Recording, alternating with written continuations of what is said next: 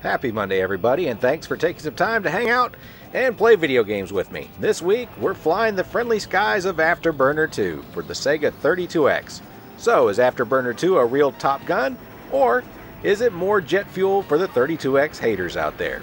I'm unplugging everything in my house so I can turn on my Sega Genesis 32X CD. That's not true.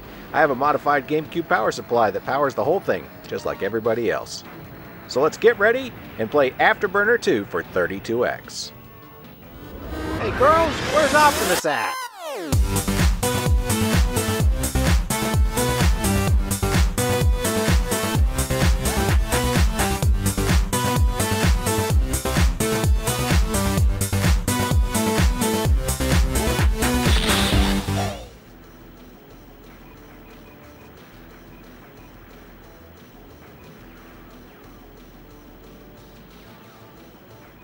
Designed by Yu Suzuki and programmed by Satoshi Mifune for Sega's X-Board in 1987, Afterburner 2 was Sega's upgrade to the original Afterburner that began its development as a fantasy-style game designed after Studio Ghibli's Castle in the Sky.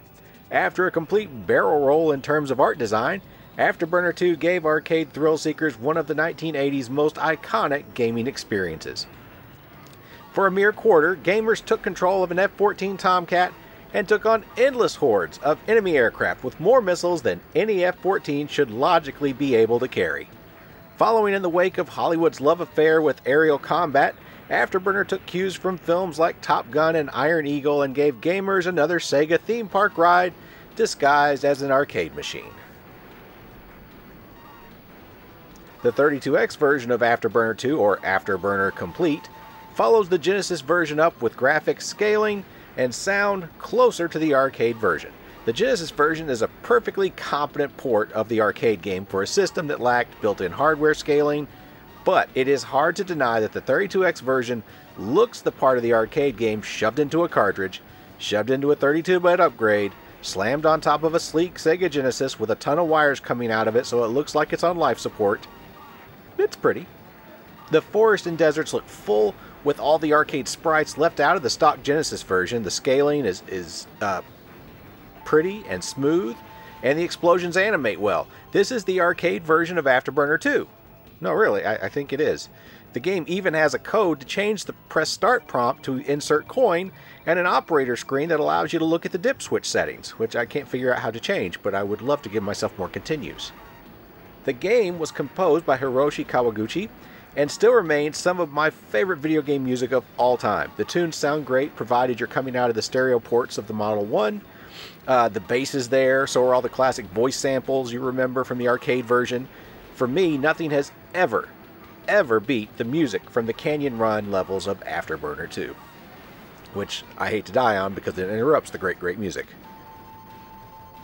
For those of us who played this in the arcades as kids, nothing will ever replace the force feedback flight stick on the arcade cabinets, along with the lights and the rocking seat in the sit down cab. The arcade game was an experience. Afterburner plays, uh, plays fine on Sega's stock six button pad, but it isn't quite the same rush. And like Star Wars Arcade, the button layout can be a finger stretch when you try to throttle your speed to evade a missile or enemy, you know, on your tail. The gameplay is still spot on Sega goodness. It's still insanely hard, and you'll pull off a barrel roll to avoid one enemy missile only to roll into another enemy missile. You'll accelerate to escape a missile behind you to get shot by a jet in front of you. As, as chill an experience as Outrun is, Afterburner is its design opposite. But for gamers seeking the 25 cent adrenaline hit, Afterburner won't disappoint. It's a roller coaster ride that will end when your jet's demise, but even when you lose, it's still a lot of fun. It's rare that a game that makes me smile like this uh, when I play really badly. When Street Fighter AI stomps me, I get angry. When Afterburner 2 chews me up and spits me out, I'm still in a good mood. I'm just happy like when I get off a roller coaster. So if you have a Genesis 32X CD and enough outlets to power it all, Afterburner 2 should be in your collection. If you consider yourself a Sega collector, I don't see how you never would have played Afterburner.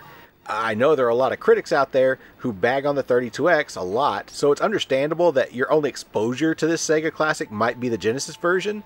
as decent a port as that Genesis cartridge is, you haven't really played Afterburner 2 until you play the arcade game, and if you don't have access to one of those around, the 32X port is one of three ports that really does the arcade game justice. The other two being the Sega Ages port for the Saturn and the 3DS port by M2. So if you have a Genesis and you have a 32X on top of it, and you have widely spread out outlets or a modified GameCube power supply or alternative means of powering it, play Afterburner 2 for Sega 32X. I don't even know who the enemy is you're fighting. I don't even care. They probably have it coming. I mean, look at them. They're shooting at me. I just assume I'm playing as Snake Eyes and they're all Cobra Jets, and when I shoot them all down, they all miraculously hit the eject button and parachute safely to the ground so I can shoot them another day. So anyway, I hope you enjoy this video, and no matter what your questions are about toys, the universe, everything, remember, the answer is always to have fun, and when all else fails, barrel roll. I really do appreciate you spending time with me.